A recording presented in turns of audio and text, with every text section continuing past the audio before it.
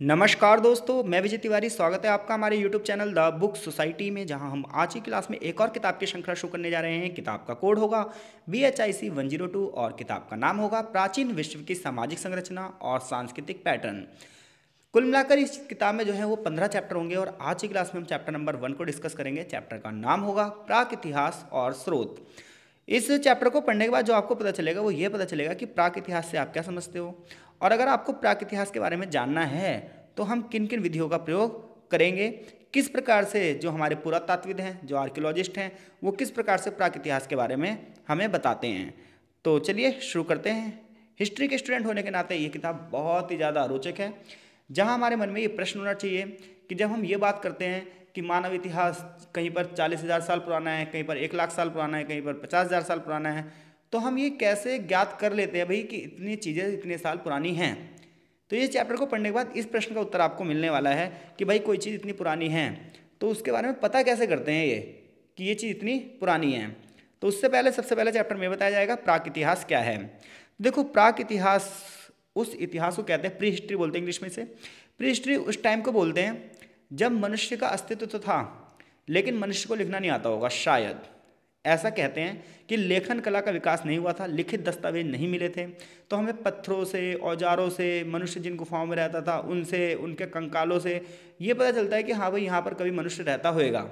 यानी कि प्राक इतिहास, उस इतिहास के बारे में हमें बता रहा है, जहाँ पर मनुष्य तो है, मनुष्य से जुड़े हुए उपकरण तो हैं, मनुष्य जिन चीज़ों का प्रयोग कर रहा है, उनके बारे में तो पता चल रहा है, लेकिन कोई लिखित दस्तावेज़ नहीं है। कोई भी लिखित सामग्री नहीं है जिससे हम स्पष्ट रूप से कह सकें कि इस क्षेत्र का ये नाम था, भाई इस क्षेत्र में ये लोग रहते थे, ऐसा कुछ नहीं पता हमें। तो प्राकृतिक ऐतिहासिक काल या प्राक इतिहास उस समय को कहते हैं, जो हमें पुराने समय की ओर ले जा रहा है, पुरातन काल की ओर ले जा रहा है, जहाँ पर लेखन कला नहीं है, लिखित दस्तावेज़ से हमें कोई लेना देना नहीं है। प्राक इतिहास की शुरुआत में अगर हम मनुष्य की बात करें तो ये माना जाता है शुरुआती मनुष्य में भी वहाँ पर रहता होगा। अलग अलग अगर हम जगह की बात करें तो अलग अलग जगह पर मानव का इतिहास उतना ही ज़्यादा पुराना मिलता है। अगर हम प्राकृतिक ऐतिहासिक काल की बात करें अफ्रीका में तो ये हमें लगभग 50 से 20 लाख बीपी में ले जाता है। वहीं हम यूरोप और एशिया की बात करें तो वहाँ पर लगभग 10 साल पुराने मनुष्य के बारे में पता चल चुका है। वहीं ऑस्ट्रेलिया में लगभग चालीस हज़ार साल पहले में भी वहाँ पर मूल निवासी आए होंगे, ऐसा किताबें कहती हैं। तो लिखित दस्तावेजों के उद्भव से पहले जो मानव का इतिहास है उस समय को दर्शाने के लिए एक फ्रेंच पुरातात्विक थे, एक फ्रेंच आर्कियोलॉजिस्ट थे जिनका नाम था पॉल टर्नल। जो ये पॉल टर्नल थे, इन्होंने 1833 में किताब लिखी, पेरियोड एंटी हिस्टोरिक तो जो ये पेरियोड एंटी हिस्टोरिक किताब है, इसमें इन्होंने एक वर्ड यूज़ किया और यहीं से एक वर्ड आया, क्या? प्राक इतिहास। तो प्राक इतिहास शब्द की उत्पत्ति कहाँ से हुई है? 1833 में एक आर्कियोलॉजिस्ट हैं, जिनका नाम कौन, क्या है? पाल टॉर्नल ये किताब लिखेंगे पेरियोड एंटी हिस्टोरिक और इसी किताब में प्राक इतिहास शब्द के बारे में पहली बार बात की जाएगी। तो फ्रेंच शब्दावली में प्राक इतिहास का सबसे पहली बार प्रयोग। 1851 में डैनियल विल्सन ने अपनी किताब the archaeology and prehistoric annals of Scotland में भी किया था।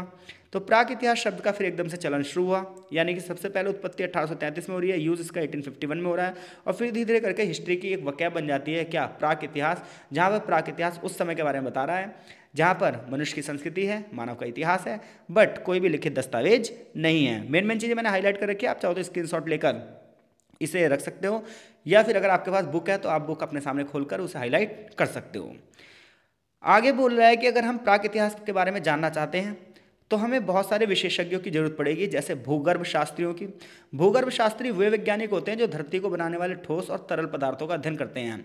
यानी कि जो हमारी धरती बनी है, उसमें क्या क्या चीज़ें सॉलिड लगी हैं क्या क्या चीज़ें लिक्विड लगी हैं, उनके बारे में जो अध्ययन करते हैं, वो लोग क्या कहलाते हैं? भूगर्भ शास्त्री। तो इनके भी प्रयोग, इनकी भी ज़रूरत पड़ती है अगर हमें प्राक इतिहास के बारे में जानना है, ये भी अपना योगदान देते हैं।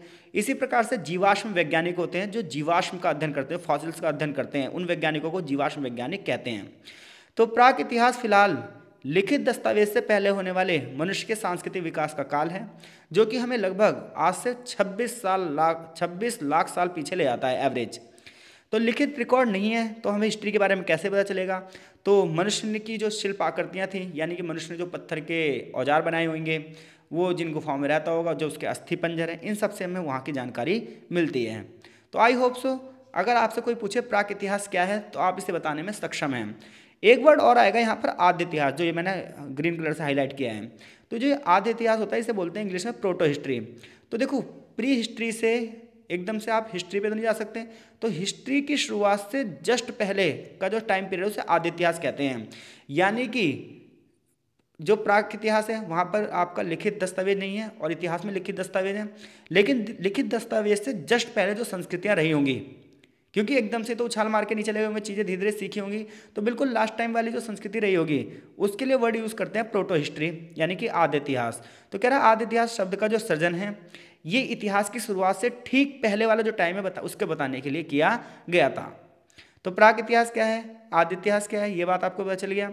अब बात ये आती है जब हमें प्राक इतिहास के बारे में जानना है तो हमें क्या क्या पढ़कर प्राक इतिहास के बारे में पता चलेगा।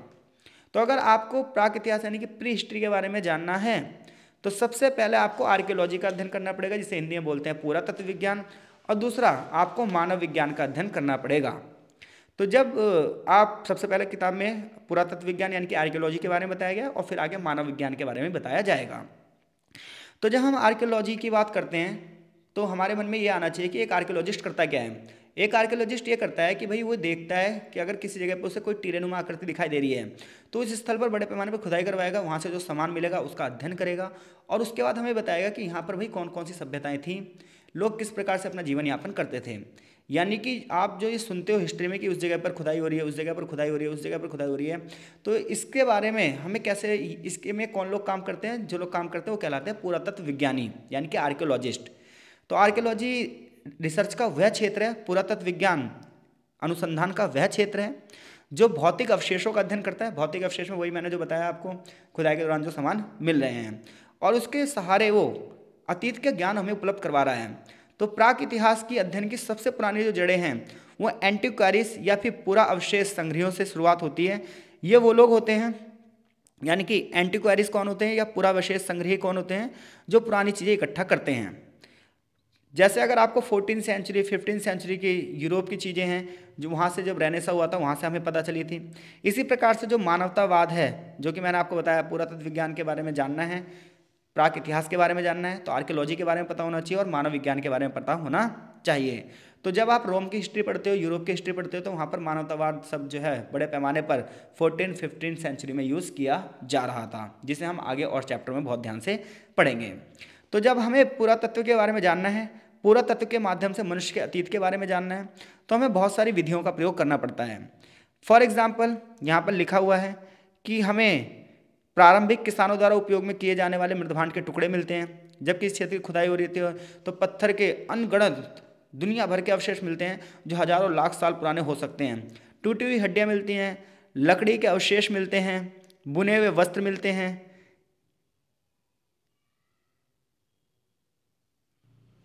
जैसे कि आप यहाँ पर इस फिगर में देख सकते हो कि कितने सारे ये स्टोन एज के जो हैं टूल्स थे, वो हैं। या फिर यहाँ पर आप देख सकते हो प्राकृत ऐतिहासिक गुफा की एक चित्रकारी है लॉस्कॉस फ्रांस में। तो फ्रांस में ये जगह थी, जहाँ पर ये आप देख सकते हो पशुओं की आकृति बनी हुई है। तो इन सब चीज़ों से हमें प्राक इतिहास के बारे में पता चलता है। इसके अलावा यहाँ पर एक वर्ड है फीचर्स किसे कहते हैं? तो फीचर्स वे शिल्पाकृतियाँ हैं जो धब्बे जैसी चीज़ों को शामिल करती हैं, जो बताते हैं किस समय भंडार के गड्ढे कहाँ पर कचरे का ढेर था, या फिर कहाँ पर स्टॉक होता था, यहाँ पर कहाँ पर बाड़ाबंदी होती थी, ये सबसे संबंधित जो शिल्पाकृतियाँ हैं, वो फीचर्स कहलाती हैं। तो हिस्ट्री के अंदर कभी ये वर्ड आए, फीचर्स क्या है? तो आप ध्यान रखना, फीचर्स वह शिल्प आकृतियाँ हैं, वह समान है, जो पुरातात्विक स्थलों के बारे में हमें बहुत ज़्यादा जानकारी दे रहे हैं। इसमें मिट्टी के धब्बे हो सकते हैं इसमें हो सकता है किसी समय अब उन धब्बों से ही पता चलता है कि वहाँ पर किस टाइप का सामान रखा जाता था। क्या वो स्टॉक रखने वाली जगह थी या फिर कचरे का ढेर था? जैसे आप देखते हो जहाँ पर कचरा रोड पर कहीं कचरा निकाला जा रहा है, जब वो कचरा उठाया जाता है तो वहाँ पर क्या निशान पड़ जाता है? इसी प्रकार से जब हम कहीं जो हमारे घर में गोदाम गोदाम होते हैं या हमारे घर में जो स्टॉक रूम होता है, आप वहाँ पर जो सामान रखते हैं तो वहाँ पर कुछ ना कुछ निशान पड़ जाते हैं। या कहीं पर कहीं पर एक जगह सिलेंडर रखा हुआ है तो बहुत दिनों तक रखा हुआ तो उस जगह पर निशान पड़ जाएँगे। तो इसी प्रकार से जो पूरा तात्विक होते हैं तो कहीं पर उन्हें शिल्पाकृति इस टाइप की मिली है? तो उन्हें वो क्या बोलते हैं? फीचर्स कहते हैं इसमें मिट्टी के धब्बे हैं। और क्या है? उससे पता चलता है कि वहाँ पर कचरे का ढेर लगता था, या भंडार के गड्ढे थे, या कोई बड़ी संरचना बनी हुई थी, या फिर कैसे था। इसके अलावा जैव वस्तुएँ मिलती हैं, जिन्हें इको इफेक्ट्स भी कहा जाता है। तो पुरातात्विक बहुत सारी विधियों का प्रयोग करते हैं और बहुत सारे सामानों का प्रयोग करते हैं। ऐसे में यहाँ पर एक बॉक्स दिया गया है कि अगर पुरातात्विक कहीं पर खोज कर रहे हैं तो वो कैसे कैसे करेंगे। तो सबसे पहले तो एक शोध होगी, यानी कि एक रिसर्च होगा। रिसर्च में एक जगह की पहचान की जाएगी कि भाई, ये जो जगह है, क्या यहाँ पर कुछ हो सकता है? मतलब उससे संबंधित कुछ क्लू मिलेंगे? या फिर पहले से ही कोई रिसर्च उस जगह पर हुई होगी, जैसे हड़प्पा? तो हड़प्पा पर पहले से रिसर्च हो चुकी है तो आजकल के जो पुरातात्विद हैं, ये उस जगह पर जाएँगे और नई नई खोज करेंगे। लेकिन किसी नई जगह की खोज होगी तो सबसे पहले उस एरिया को टारगेट करेंगे कि यहाँ पर कुछ हो सकता है। फिर क्या करेंगे? भूमि का माप जोक करेंगे कि कहाँ से कहाँ तक खुदाई की जा सकती है? जाँच पड़ताल होगी, गहराई से अध्ययन किया जाएगा। फिर खड्डा किया जाएगा, उस खड्डे की जाँच की जाएगी और ये देखा जाएगा कितनी गहराई पर सामान है। और फिर उसके बाद पूर्ण उत्खनन, यानी कि पूरे तरीके से खुदाई होगी। खुदाई भी दो प्रकार की होगी, एक लंबवत खुदाई होगी, यानी कि ज़मीन के नीचे परत पे परत परत पे परत उठाई जाएँगी, और एक खुदाई होगी सीधी, यानी कि दूर तक जाएगी, और इससे हमें पता चलेगा ये सभ्यता कहाँ तक फैली हुई है। फिर जितना भी उसमें से सामान मिलेगा, उसका बहुत गहराई से अध्ययन किया जाएगा, उस पर विश्लेषण किया जाएगा, और एंड में रिपोर्टिंग होगी। रिपोर्टिंग के बाद वो चीज़ें अखबारों में, किताबों में छप जाएगी। तो पुरातात्विद किस प्रकार से एक जगह को सीमांकित करते हैं? फिर उस जगह पर कैसे खुदाइयाँ करते हैं? किस प्रकार से वहाँ पर और लोगों का योगदान होता है? और आखिर ये फिर कैसे किसी एरिया को टारगेट करते हैं? तो इसके लिए देखो, बहुत सारी ना टेक्नोलॉजी का यूज़ किया जाता है।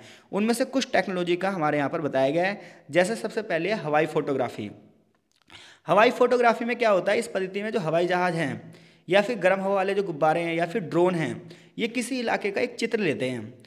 और फिर उसमें हाई क्वालिटी कैमरे का यूज़ किया जाता है। इन चित्रों के माध्यम से ये देखा जाता है कि कहीं की मिट्टी कैसी है और कहीं की मिट्टी कैसी है। फिर ये देखते हैं कि जो रियल मिट्टी का कलर है और किसी एरिया की मिट्टी का कलर अलग है तो वो कलर में डिफरेंसेस किस प्रकार से हो सकते हैं या क्यों हो सकते हैं? या फिर कहीं पर अलग वनस्पति हैं, कहीं पर अलग फ़सल के चिन्ह हैं तो कैसे हैं? यानी कि सबसे पहले क्या होता है, हवाई माध्यम से, यानी कि ऊपर से किसी एक बड़े विस्तृत एरिया का चित्र लिया जाता है। और फिर उसमें जो भी अगर अंतर अलग दिखाई दे रहा है तो उस एरिया को टारगेट कर लेते हैं कि भाई यहाँ पर कुछ हो सकता है। तो ये बात आपको पता चलेगी। तो जंगलों की तुलना में जो खुले हुए जगह हैं, वहाँ पर जो फोटोग्राफी होती है तो इसके बारे में हमें बहुत अच्छे से जानकारी मिल सकती है, क्योंकि जंगलों में तो पेड़ पौधे आ जाएँगे तो ज़मीन की सतह के बारे में नहीं पता चल पाएगा। तो यानी कि जो पूरा शास्त्रीय हैं वो सबसे पहले किस चीज़ का यूज़ करते हैं? हवाई फोटोग्राफी का। और इसके लिए हवाई जहाज़ों का यूज़ होता है आज के टाइम पे। गर्म वाले वाले गुब्बारों का यूज़ होता है या ड्रोन से भी किसी इलाके का चित्र लिया जा सकता है। यानी कि पहले के मुकाबले आज पूरा तात्विक के पास ज़्यादा टेक्नोलॉजी है और वो ज़्यादा से ज़्यादा खोज कर सकते हैं। दूसरा तरीका है अंतर्जलीय अन्वेषण या समुद्री पुराशास्त्र। इसमें क्या होता है? जल के अंदर। आपको पता है कई बार जहाज़ डूब जाते हैं या अंदर ग्लेशियर्स हैं या कुछ अंदर ज्वालामुखी चट्टाने हैं। तो इन सब के बारे में हमें कैसे पता चलता है? तो इसके लिए हम समुद्री पूरा शास्त्र का सहारा लेते हैं। इस पद्धति में क्या होता है? समुद्र या मीठे पानी के नीचे जो पूरा अवशेष है या जल में डूबी हुई चीज़ें हैं, जल में डूबी हुई सभ्यताएँ हैं, उनके बारे में पता चलता है। या कोई जहाज़ डूब गया है तो उसके मलबे के बारे में पता चलता है। इसमें क्या होता है? इसे 1943 में लगभग शुरू किया गया था और इसके लिए बहुत सारे टूल्स का यूज़ किया जाता है। जैसे कि यहाँ पर एक फिगर दी भी हुई है। ये एस्टोनिया की जगह है उत्तर यूरोप में, जहाँ पर एक जहाज़ डूब गया था, उसके अवशेष हमें दिखाई देते हैं। तीसरी विधि है चुंबकीय सर्वेक्षण। चुंबक, चुंबकीय सर्वेक्षण यानी कि मैग्नो, मैग्नेटोमेट्री भी इसे कहते हैं। इसमें क्या होता है? इसमें ये देखा जाता है कि अतीत की जो मानवीय गतिविधियाँ थी, उसको पहचानने में ये जो यंत्र है, ये सहायता करता है। जैसा कि आप इस यंत्र की आप चित्र भी देख सकते हो। इसमें हम क्या करते हैं? जो मिट्टी है हमारी, इसके अलावा जो रॉक्स है, चट्टाने हैं, इनके अंदर ना चुंबकीय गुण होते हैं। तो इनके चुंबकीय गुण की वजह से ही हमें उन स्थानों के परिवर्तन के बारे में पता चल पाता है। इस तकनीक से हमें ये पता चल पाता है कि घास भूमि थी या कहीं पर खेती होती थी, या भूमि का प्रयोग कैसे होता था, क्योंकि वहाँ पर जो चुंबकीय गुण होते हैं, उन चुंबकीय गुणों को ये वाली जो मशीन है, वो क्या कर लेती है, कैच कर लेती है। इसी प्रकार से मृदा का रासायनिक विश्लेषण। देखो, मिट्टी में बहुत सारे तत्व होते हैं फॉस्फेट होता है पोटेशियम होता है एंड सोमोर चीज़ें। तो ऐसे में हर मिट्टी में अलग अलग तत्व होते हैं। अब किसी मिट्टी में ज़्यादा तत्व हैं और किसी मिट्टी में कम तत्व हैं। इसके आधार पर यह देखा जाता है कि इस एरिया में कौन सी कृषि की जा सकती होगी। इसी प्रकार से उपमृदा में असंगति की पहचान, इसमें जो पूरा शास्त्रीय हैं, ये क्या करते हैं? पॉन्टेसियोमीटर नाम के एक ग्रंथ का, एक उपकरण का यूज़ करते हैं, जो ये देखता है कि मिट्टी में प्रतिरोधी क्षमता कहाँ तक है। इससे हमें ये भी पता चलता है कि कहाँ पर घर की नींव तक हो सकती है और कहाँ पर घर हो सकते हैं।